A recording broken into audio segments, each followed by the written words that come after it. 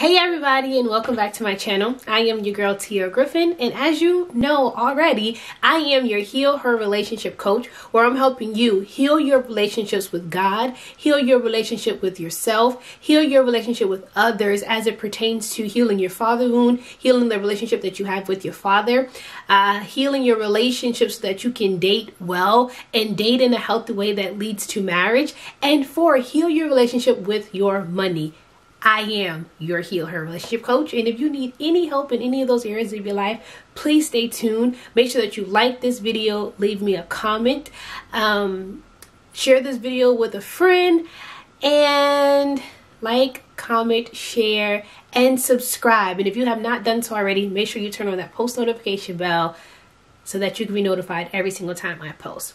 So today we will be talking about what is a father wound. If you've been watching my other videos, I've been really incorporating the father wound into my videos and how to heal it and how a lot of the things that we do as far as relationships, dating, romantic relationships, is due to or directly related to our father wound. But I've never sat down and told you guys what a father wound is, especially from my perspective. Okay, so that is how I want to start this video out.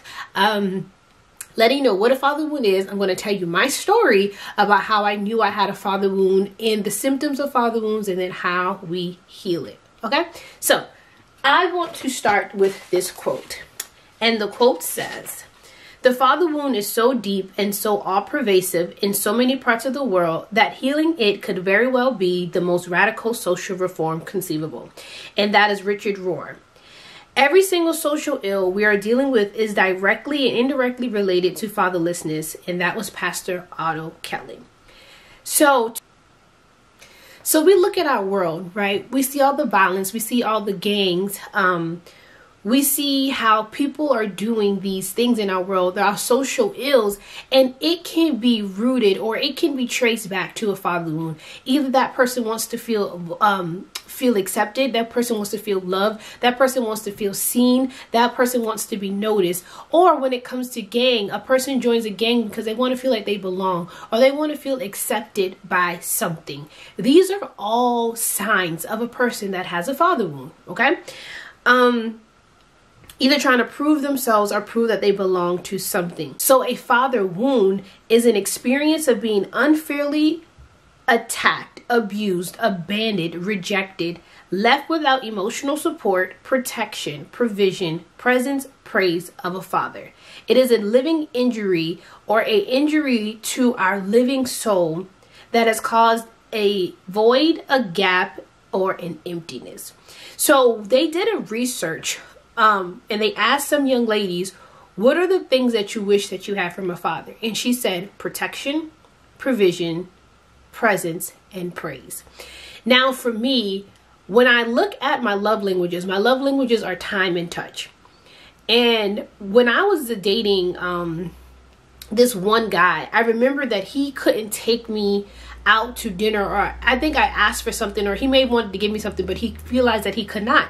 And he became so frustrated with himself. Like he felt like his his manhood was attacked. He felt like um, because he couldn't provide for me he couldn't be in my life. And that was the furthest from the truth because i never really cared about presents like gifts and stuff like that i've always been more concerned about presence okay? When my father when i was younger my dad bought me a swing set and also a little red car. These are the only two things that I can remember my, my father buying for me.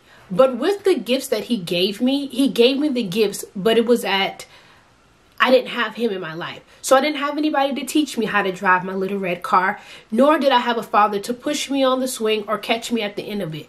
So I don't know if my desire or dismissal or resistance of gifts came from that experience in my life, but I never really was one for gifts. I was always presence over presents.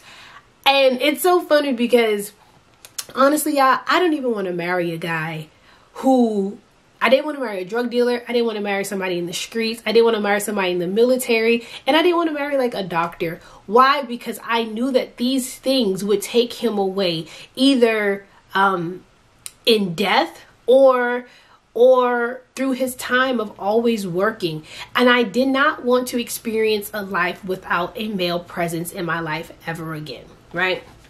So, a father wound is an experience of a father hurting you in some way that it affects the soul affects our soul and as you know we live from our soul the bible says guard your heart with all diligence because from it flows the issues of life flows the rivers of life right? So our soul is also um, another word for it is our heart. So we have to guard our heart. But when our father was not there to protect our heart we were accessible to so many things. Um, these are just things that I've learned in life as I, I look back on on my life and God has given me revelation. God gave us parents for a reason. He gave us a mother and he gave us a father. And when those two people are in our life, we have better guards over our life, better guards over the doors of our life, better guards over the gates of our life, right? So when a father is absent, it caused my mother to also be absent. Because my father was not around, it caused my mother to have to now fill in for two roles. Now she has to work in order to keep a roof over our head, to make sure that we had clothes on our back, to make sure we had food on our table. So because he was absent, she now had to fill in this role, which caused her to be more absent. And guess what? The very plan of the enemy was able to come into our lives as children why? Because our parents were not there. The guards for our gates, the guards for our home was no longer in place. Because my father was not present and my mother was also absent, I was introduced to um, sex very early. I was introduced to pornography. I was introduced to um, sexual movies. Um, these are these are um, what's the word I'm looking for? These are things that the enemy uses to infiltrate our lives because our guards are not there. It's almost like having all of your treasures in the house and you have doors with no you have doorways with no doors on them. The enemy can come in and and wreak havoc. He can come in and rain his terror basically on our lives because our guards were not present. A lot of times you will realize that your life was opened up to um, experiencing pornography and masturbation at a young age, or even molestation and rape because your your guards, your pillars, your protective measures that God put in place were not there, leaving us susceptible to those that wanted to harm us, and also leaving us susceptible to the will and the plan of the enemy right? So also with the wound it is almost like having if you've seen like a soul tie right and and when pe- two people are ripped apart from each other it's almost like putting two i don't know if you've ever done this but if you take a, we did this at a, a, conference I went to one time. They glued two sheets of paper together and we had to then rip it apart. And you can see that in those rips, it doesn't rip evenly. When the papers are torn apart from each other, they are um some pieces of my paper or one paper and the other side was sticking on the other and the other was sticking on the other. So it was literally ripped apart. So imagine living a life ripped apart from your father. Imagine living a life ripped apart by your father through absence through his abandonment through his death. Maybe you don't have a father that's alive or through um him being being in the house with you, but not actually present to your life, present to the things that you found enjoyment in, present to tell you that you were beautiful. So almost like he was just there, but he wasn't really there. And funny thing is, a lot of us find ourselves dating guys that are in our life, but it's so hard to connect with them. It's it's almost like we have to prove our love for them, and, and we have to pull things out of them. Like convincing them that I'm worthy to be loved. And that's the same thing that happens because it's our template. A lot of women have men that just fill a void, but they are not really adding to your life. So that's how a lot of us are living. Think about the, the ripping of the, those two pieces of paper and how one side of the paper is stuck on this one, another one stuck on this one. So when your father is not there, there are there there are stores in our life that are missing. There's things about ourselves that we're not able to understand because that father piece is missing. A father is supposed to provide protection. He's supposed to provide love, discipline, guidance, reassurance, and confirmation. So when those things are missing out of our life, we are left bleeding we're left bleeding and we find ourselves bleeding all over people um, in ministry bleeding all over um, our assignments because we're not healed. And a lot of us are walking around with heels with with heels with wounds. We are walking around with wounds and we're bleeding all over the place because we've never healed that wound. And i believe a lot of men um, are able to pick this up in women and they they they they found us to be more vulnerable and I can tell her what she wants to hear and I can do anything that I want to do to her um, because it's almost like being bloody and then thrown into a shark a shark tank. They smell the blood on you and then they come after you because you're so you're such an easy target because you didn't you're you're you're left missing the things that you need to be whole. You're you're bleeding out when that's not how we should be When a woman lacks the things that makes her feel better about herself, she is more willing to do things that are against her morals. And that's what happened when we're bleeding and thrown into a shark tank. Um, I think they did a, a survey to some pimps and, and they were like, not all not all women are easy targets. Not all women are um will just do anything to meet her to meet her voids. But a lot of women who were not protected a lot of women who were desiring the presence of a man the praise of a man the um protection of a man when we don't have those things in life we go out looking for it. And we will give it in exchange for anything. If we aren't told who we are, how worthy we are, and how valuable we are, we will do things to hear this. And sometimes we will do it at the cost of ourselves. We'll sacrifice ourselves in order to hear these things, in order to feel these things. And that's what I did. I lost myself in a lot of relationships because I just wanted to feel protected. I wanted to feel secure. I wanted to feel validated. I wanted to feel chosen. And it was at the expense of myself because a lot of times I couldn't be myself because I was trying to be somebody else in order to get this man's love, to get this man attention, and get this man's approval. And also, we give ourselves in exchange for a little bit of a little bit of protection, of a little bit of security, right? I want to read something to you from my book, Tears of an Orphan Heart. If you have my book, go to chapter 3, page 46. And if you don't have my book, make sure that you go to the comment, not comment section, the description, and my book will be linked there so that you can get it for yourself. Okay? So when a father is present, he instills a healthy sense of fear in the child or children and sets the tone for the home. Without a father, there is no morality. Think about that. Wherever there is no father, there's no morality. And when we look at our world right now, we are in a huge identity crisis and it seems as if we have no morality because we're not rooting it back to our source or our father. We are a fatherless generation, we are a fatherless nation, we are a fatherless world. And if we get our father back, we'll get our morality back. And we can most certainly get our world back because like I said in the beginning, healing this wound would be the re- would be the radical social reform period, okay?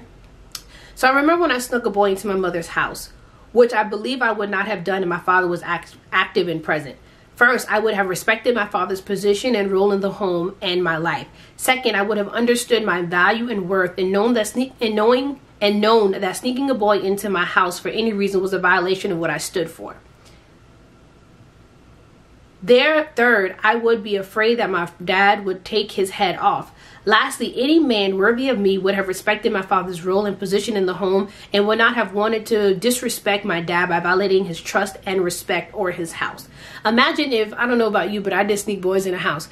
But if a father was there, you would have never done that. There would just be, would have been a discipline, a correct a correction there or an honor or respect for the house that I wouldn't have snuck a boy in because one I was afraid of my daddy and or I would have been instilled so much by my father that that wasn't my worth.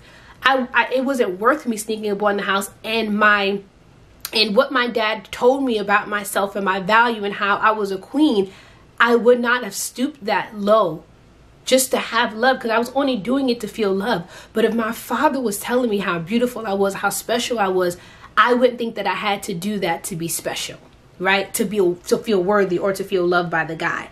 And if my dad was home, Who was sneaking? Nobody sneaking no man in no house and your daddy in there, right? But because a father's love was absent, my longing for a male's love led me to look for love in all the wrong places and do stupid things. Well, we look for love in all the wrong places because for me, I was looking for it in the relationships. I was looking for my relationship to cure to cure a wound that it did not cause we look in all the wrong places because we're looking to men when in actuality we should be looking to our father. The little girl in us is saying, I want a daddy, but the woman in us is translating as, I want a man, I want a relationship, I want to feel love. But there's a God sized hole in us, there's a father sized hole in us that can only be filled by a father and we can't get it from a relationship. We can't get our needs met for validation to be chosen to be to feel loved to feel protected to feel secure from a romantic relationship. It has to come from a father. I realized that i had a father wound and this is just my story but god told me.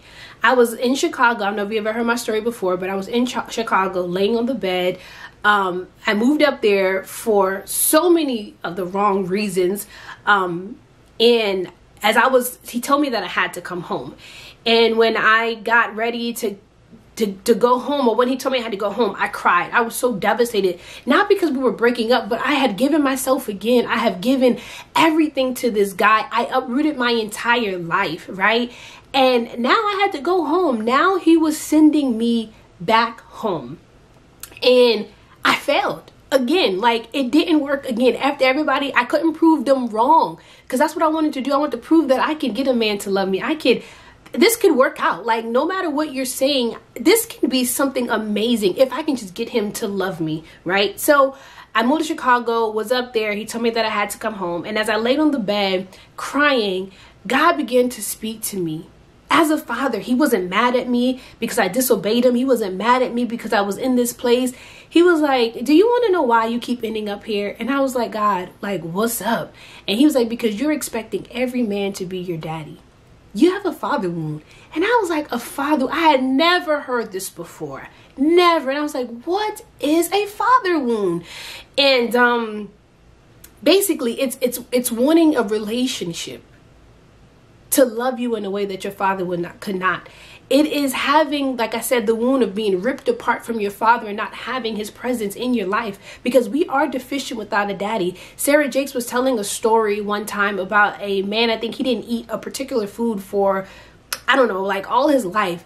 And he was like, I'm good. And she was like, just because you did not have something that you needed, you just adapted to it. You survived it. But that does not mean that you did not need it. And there are deficiencies that has to be supplemented somewhere else. So when we don't have a daddy, we try to supplement that deficiency somewhere else. We try to supplement it with sex. We try to supplement it with relationships. We try to supplement it by being in codependent relationships. Let me tell you some things. Um, we try to supplement it by trying to do things and make ourselves feel worthy, to make ourselves feel good enough. We try to supplement it, like I said, by codependent relationships. We try to supplement it by giving people more access to us than they deserve. We try to supplement it by not having strong boundaries and thinking that we have to be a doormat in order to give this in exchange for your love. Um, and, and, and, and we can't supplement it that way. That's not the way to heal that wound or that's not the way to to to um yeah to heal the wound. That's not the way for us to be whole that's not the way for us to truly be loved. That is not the way that god ever intended us for us to be loved. So here are six signs of a father wound.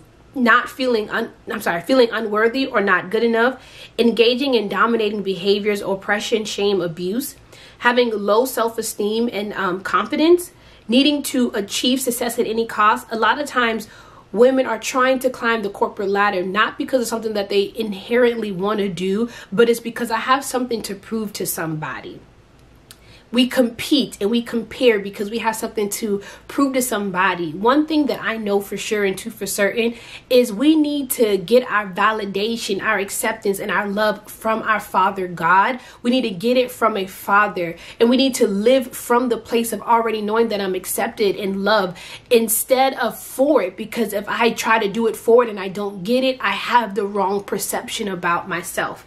Okay? Um fear of abandonment and rejection. We can get into this um, another day because this video is getting kind of long, but I just really want to paint to you what a father wound was. But I'm going to tell you of how um, fear of abandonment and rejection really affected my life. But going back to to um,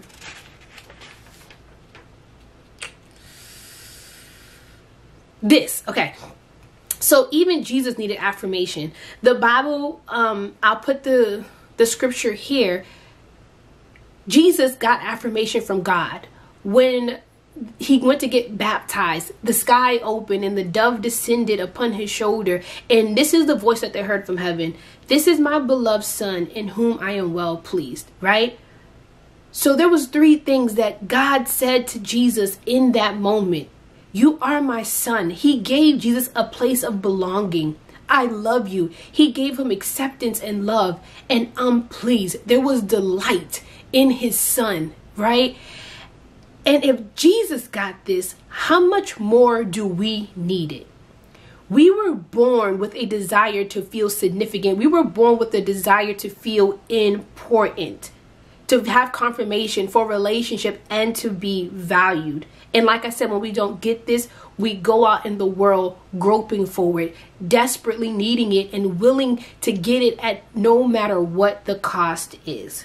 Without a daddy, we will feel unwanted, unloved, unimportant, unlovable, unacceptable, unattractive, and unworthy.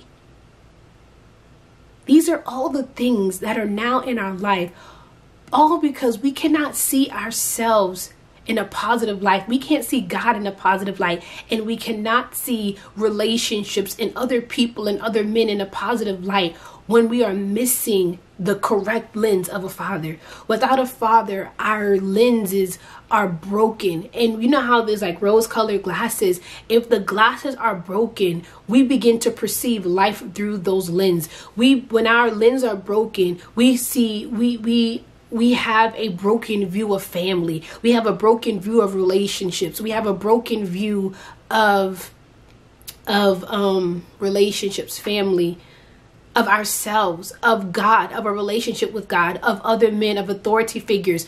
We begin to filter our life. We begin to filter our decisions and the things that come from us through these lenses. But if we can heal the lens, if we can get new lenses and begin to see better through the life of having a father, it would change everything.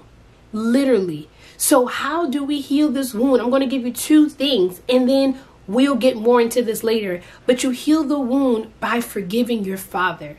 I forgive you, Dad, for what you were not able to do for me. I forgive you, Dad, because of your absence. I forgive you, Dad, for not telling me I was beautiful. I forgive you. Like, let go. Forgiveness is letting go. Let that go so that God can now be the one to be all of those things for you. But as long as you're holding your father in prison to give that to you, you won't be able to open yourself up to be able to receive it from God.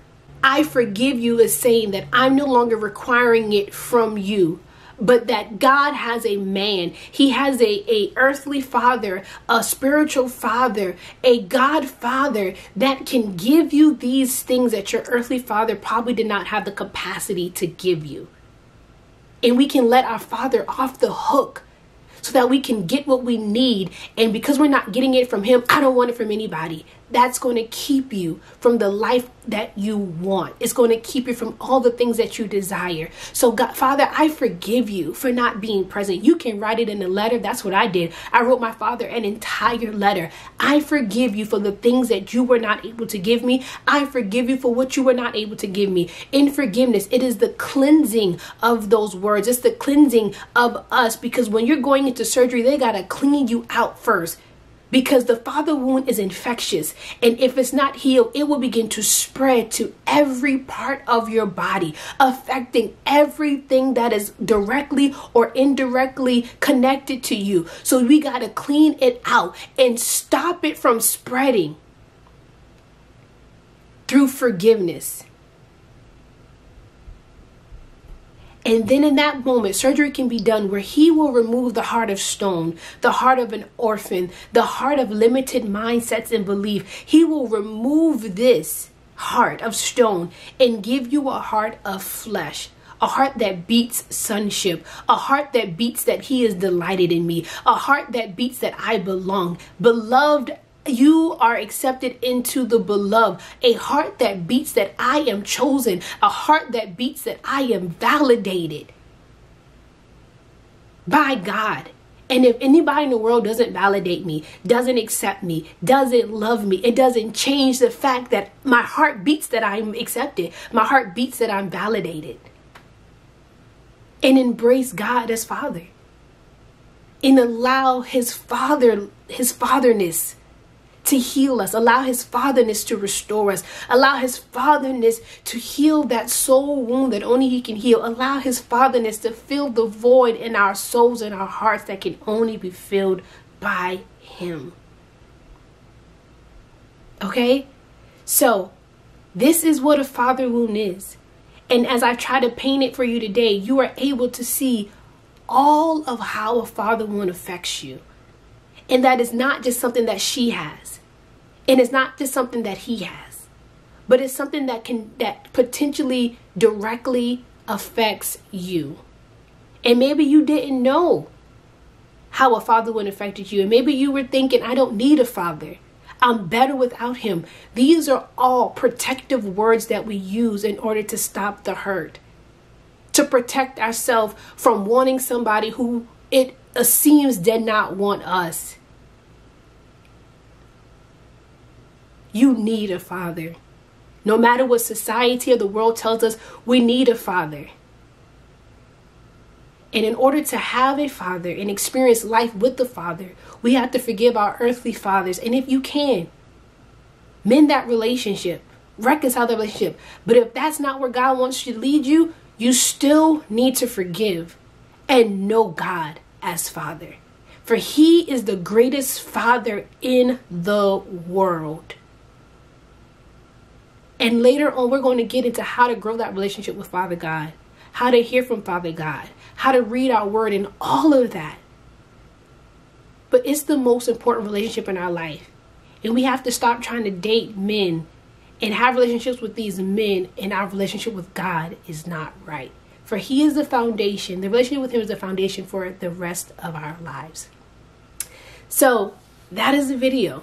Thank you for listening. Thank you for watching. I hope that you heard my heart. And I hope that from this video, you will see the need for a, for a father and do what needs to be done in order to fill your voids with what your soul really needs, which is a dad. Like this video, share this video, leave me a comment in the comment section below. Subscribe to this channel and make sure you turn on the post notification bell so that you'll be notified every single time I post. And if you feel like I've missed something and I didn't touch on your wound specifically, put it in the comment section below on how the wound showed up in your life. And we can dig more into it so that we can get you a plan to heal it. Because healing this wound is the most greatest thing you can do for your life, for yourself, for your family, for your future. I promise you, it's worth it. Love you guys, and I will talk to you soon. Bye.